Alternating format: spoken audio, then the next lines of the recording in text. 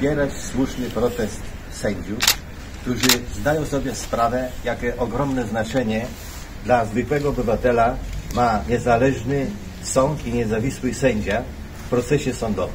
Tylko niezależne sądy i niezawisli sędziowie są gwarancją do uczciwego procesu i do sprawiedliwego wyroku. W sytuacji, w której mamy upolitycznioną prokuraturę, która działa na zlecenie i tak naprawdę może każdemu postawić zarzut,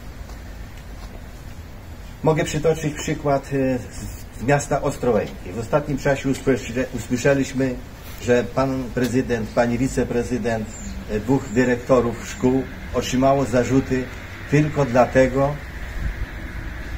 że w wyniku rezygnacji państwa dyrektorów, pani dyrektor pana dyrektora z funkcji dyrektora zażądali wypłacenia dodatku funkcyjnego.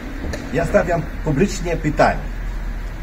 Państwo osądźcie, czy jeśli ktoś nie pełni funkcji dyrektora, ten dodatek funkcyjny mu się należy, czy też nie.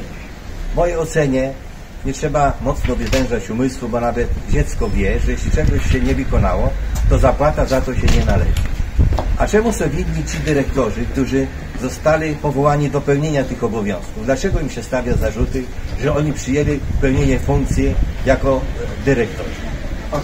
Dzisiaj mamy taką sytuację, że tą sprawą zajmował się Wojewódzki Sąd Administracyjny, który nie dopatrzył się niedopełnienia obowiązku lub nadużycia uprawnień przez pana prezydenta i panią wiceprezydent. Prokuratura z urzędu stawia zarzuty niedopełnienia obowiązku nadużycie uprawnień tylko dlatego, że miasto, jak się z, tego, z tej treści tego zarzutu, yy, zaoszczędziło 12 tysięcy złotych. Mamy dzisiaj w Ostrowce taką sytuację, że budowana była elektrownia, następnie była burzona. Koszty tej całej operacji to jest półtora miliarda złotych. Jakoś prokuratura z urzędu nie zajęła się tą sprawą. Gołym okiem widać tutaj relatywizm moralny. Szanowni Państwo, żeby nie przedłużać, ja chcę powiedzieć, że Ostrołęka to nie Sodoma.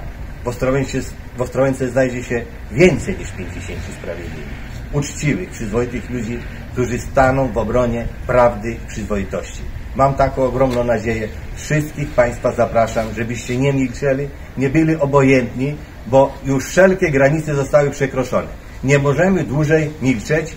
Czas najwyższy, żebyśmy stanęli po stronie prawdy i bronili ludzi skrzywdzonych. Dziękuję bardzo.